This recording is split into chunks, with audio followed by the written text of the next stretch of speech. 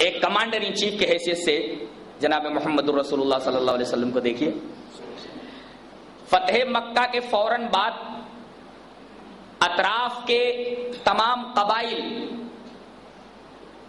اسلام کے سامنے جھک گئے۔ کچھ نے تو اسلام قبول کر لیا اور کچھ لوگ اسلام کے سامنے سرنگو ہو گئے۔ لیکن ایک قبیلہ تھا قبیلے حوازن، اس نے ہتھیار نہیں ڈالے۔ اور وہ اسلام کے تحت آنے سے منکر رہا، انکار کرتا رہا۔ اس لیے کہ قبیلے حوازن کے لوگ بڑے ماہر تیر انداز تھے۔ ان کا نشانہ خطا نہیں کرتا تھا۔ اور انہیں اپنی تیر اندازی کے اوپر بڑا ناس تھا۔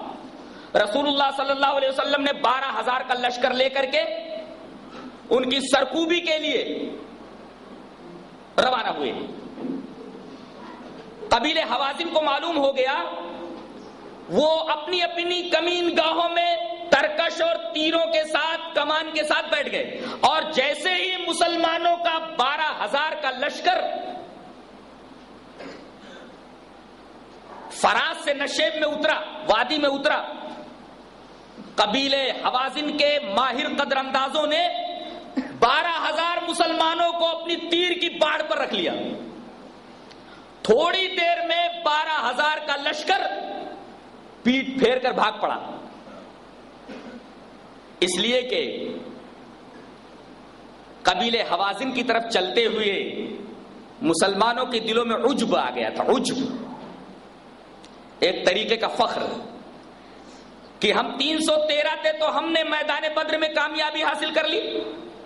آٹھ سو تھے تو میدان اہد میں معاملہ برابر سرابر ہو گیا۔ جنگ احزاب میں بھی ہمارا پلڑا بھاری رہا۔ مکہ فتح ہو گیا ہے۔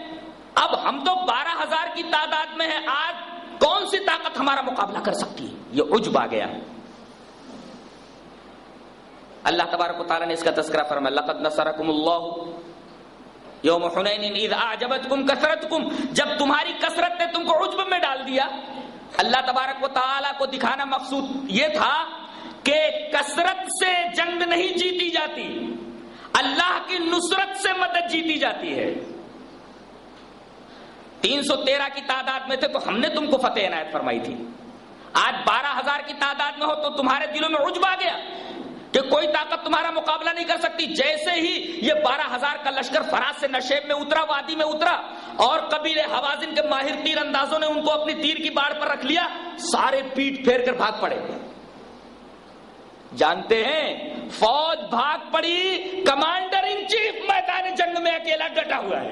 کبھی آپ نے دیکھا کہ کمانڈر ان چیف میدان میں ہو اور فوجیں بھاگ پڑی ہوں؟ اور میدان جنگ میں اکیلا کمانڈر ان چیف رہ گیا ہو؟ یہ تاریخ انسانی کا ایک حیرت انگیز واقعہ ہے کہ فوجیں بھاگ پڑی ہیں، کمانڈر ان چیف میدان جنگ میں اکیلا ڈٹا ہوا ہے۔ چاروں طرف سے تیر برس رہے ہیں۔ دو چار آدمی رسول اللہ صلی اللہ علیہ وسلم کے آس پاس رہ گئے ہیں۔ بقیہ بارہ ہزار کا لشکر جرار وہاں سے فرار کی رائے اختیار کر چکا۔ اور آپ نے جب پیچھے مڑ کر کے دیکھا تو لوگ بھاگتے ہوئے نظر آئے۔